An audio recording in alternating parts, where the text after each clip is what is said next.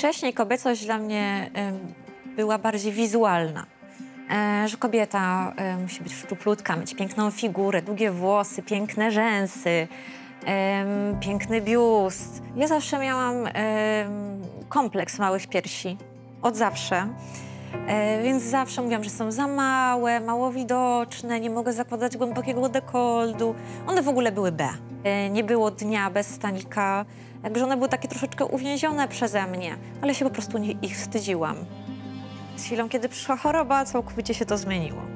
Kobiecość dla mnie teraz to jest delikatność, to są nasze uczucia, to jest nasze serce. To już nie jest definicja rozmiaru biustu, długości włosów.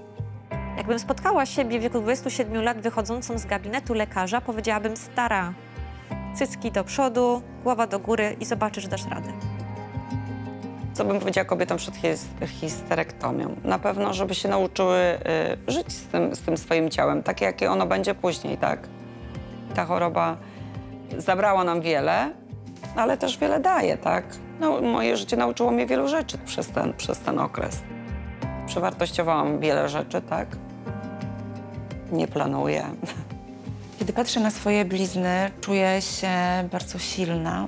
To, że zostałam w jakiś sposób okaleczona przez mastektomię, to, że mam rany, to, że nadal jeszcze jestem kobietą, która nie ma długich, pięknych włosów.